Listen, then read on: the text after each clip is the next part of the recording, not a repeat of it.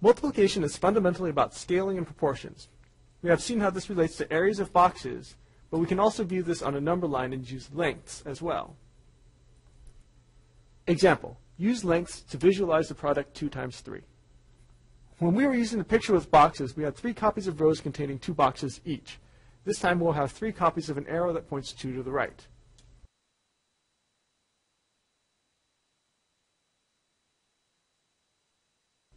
Just as with the boxes, you may look at this and say, it looks like repeated addition.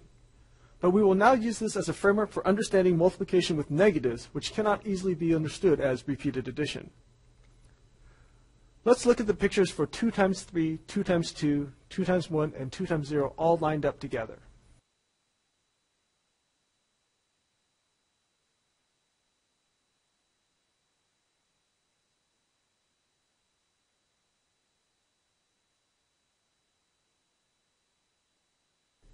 What is the pattern in the values of the results?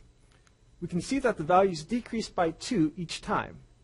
If we just follow this pattern, we would get 2 times negative 1 is negative 2, and 2 times negative 2 is negative 4. And we can see this makes some sense because we know negatives are related to things moving in the opposite direction.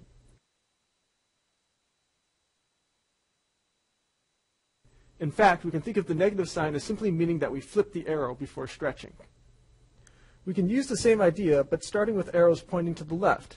Let's look at the pictures for negative 2 times 3, negative 2 times 2, negative 2 times 1, and negative 2 times 0.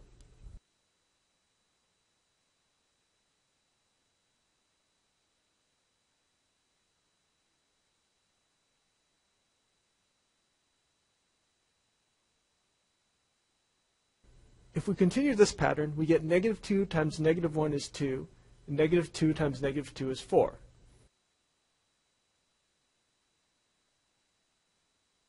This leads us to the following rules for signs when multiplying negatives. A positive times a positive equals a positive. A positive times a negative equals a negative. A negative times a positive equals a negative. And a negative times a negative equals a positive. Example, compute 3 times negative 4.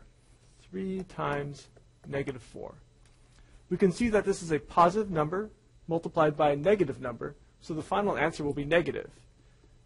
Then we compute 3 times 4 to get 12, so that the final answer is negative 12.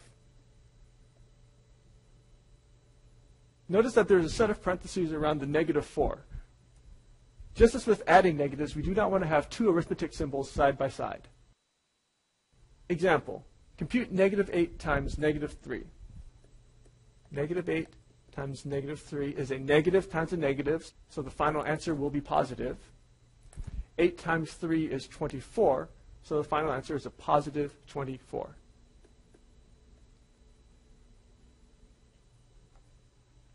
Example, compute 30 times negative 50. This problem requires you to combine two different multiplication ideas that we've used in the past. The first one is regarding the negative sign. We have a positive times a negative, so our final answer will be negative. And then we have to figure out the actual value of the product 30 times 50.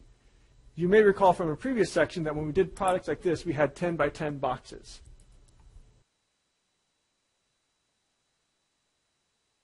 Each box represents 100 boxes, and we have a 3 by 5 grid of these larger boxes. 3 times 5 is 15, and each one represents 100, so we have 1,500 total boxes. So the final answer is negative 1,500.